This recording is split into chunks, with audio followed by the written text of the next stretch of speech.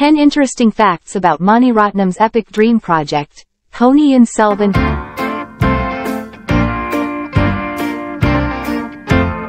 We provide you with some interesting and unknown facts about Mani Sir's epic. Take a look.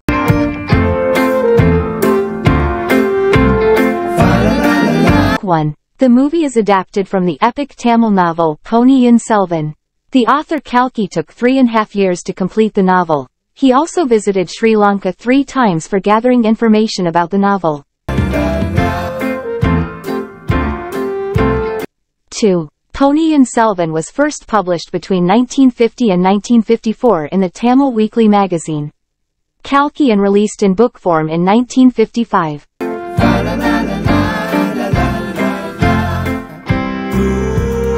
3. M. G. Ramachandran and Kamal Hassan.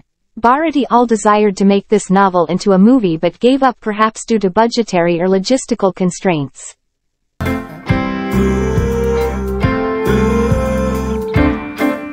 Four. This is Mani Ratnam's dream project. From 1994 he has been dreaming to picture this movie. Back in those days, the budget was estimated above 100 crores. No one came forward to bankroll this project due to the high budget. Finally, in 2019, he started the film and the film ended at a budget of 500 crore rupees.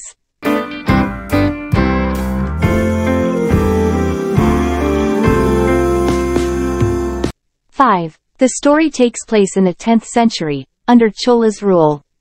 It revolves around the legendary King Raj Raja Cholan and the commander of the Cholan army Vallavaraiyan Vandiyadevan.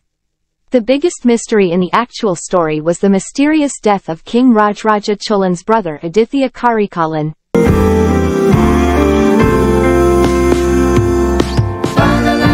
Six. There was a lot of casting changes for the movie. Mani Ratnam thought of these actors, Thalapathy Vijay, Mahesh Babu, Anushka Shetty, Nayanthara, Keerthy Suresh, and Vijay Sethupathi for certain roles.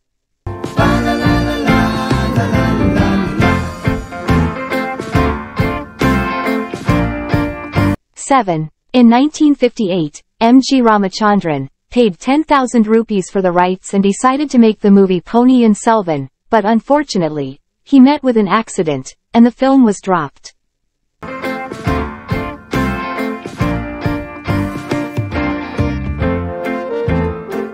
Eight. This is the first hero Karthi has worked with the same director twice. Before, he worked with Mani Ratnam in Kaatru Veliyidai.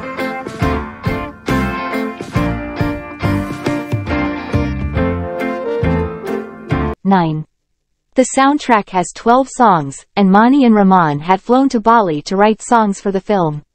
And the great Rahman stated that Ponniyin Selvan is one of the most difficult films he has ever worked on.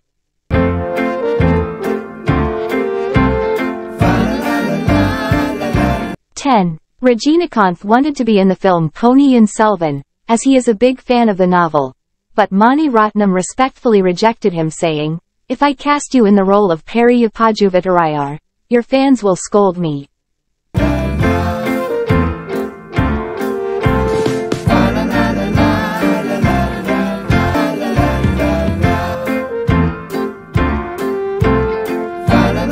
Subscribe to our channel, comment and press the bell button to stay notified about our new videos.